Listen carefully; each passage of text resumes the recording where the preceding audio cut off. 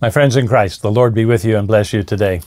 And on into this weekend and into this worship, uh, this time of worship on Sunday. I, I look forward to seeing you there, being with you there. Perhaps the only way you can be in worship these days is, is electronically, and, but I pray and I hope that you are there too. Okay, so uh, how did the how did you do with the uh, Bible quiz of a couple of days ago? Did you totally rock the answer? Well, uh, let's just keep it rolling, shall we? So Bible quiz, round two.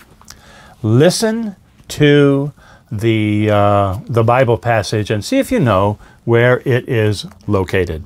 Oh, by the way, the, uh, the title of our devotion today is Growing Wisdom. The fear of the Lord is the beginning of wisdom, and knowledge of the Holy One is insight.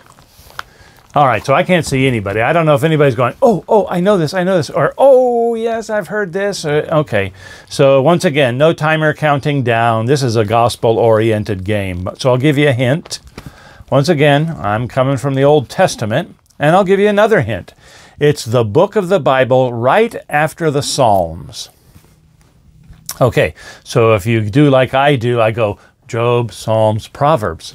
Okay, so this is Proverbs chapter 9 Verse 10 The fear of the Lord is the beginning of wisdom, and knowledge of the Holy One is insight. Like I said, the title of our devotion today is Growing Wisdom. And, and so I think you can make much of, of what Solomon says there in Proverbs, the beginning of wisdom, not the end all be all.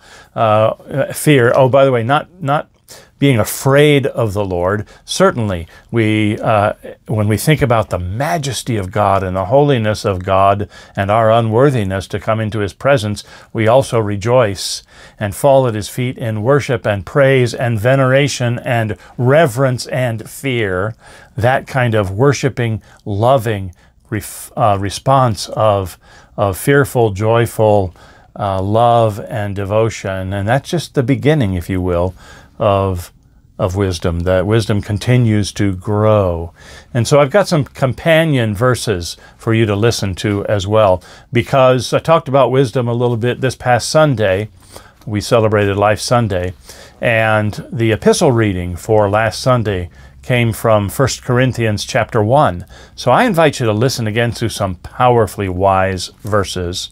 This is verses uh, 18 to 25 of 1 Corinthians chapter 1. For the word of the cross is folly to those who are perishing, but to us who are being saved, it is the power of God. For it is written, I will destroy the wisdom of the wise, and the discernment of the discerning I will thwart. Where's the one who is wise? Where is the scribe? Where is the debater of this age? Has not God made foolish the wisdom of the world? For since in the wisdom of God, the world did not know God through wisdom.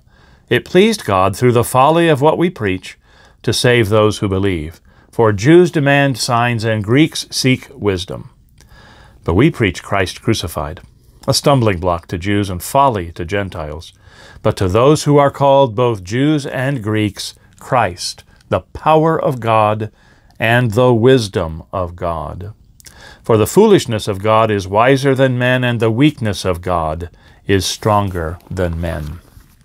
God's word here is so powerful and wonderful, and that's just worth it. You know, I could just let's just close with prayer right here, and and I really don't want to say much more about that, other than to encourage you to reread that and to realize anew, even God at His weakest, and of course He's never weak, can just outlast, out strengthen, outpower overpower all of the power of the world. God, in his weakest, most unwise moment, well, he doesn't have any. That's the wisdom that comes to you and to me in Christ Jesus, the power of Christ and his cross.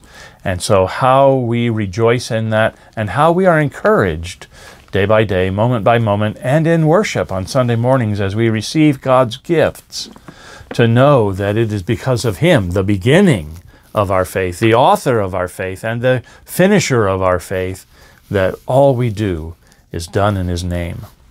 And I was reminded of a really neat hymn that talks about that exactly. It is from the morning section of our hymnal, so beginning of the day. And so uh, we have these words from the hymn, With the Lord begin your task. With the Lord begin your task, Jesus will direct it. For his aid and counsel ask, Jesus will perfect it. Every morn with Jesus rise, and when day is ended, in his name then close your eyes, be to him commended. Let each day begin with prayer, praise, and adoration. On the Lord cast every care. He is your salvation. Morning, evening, and at night, Jesus will be near you, save you from the tempter's might. With his presence, cheer you.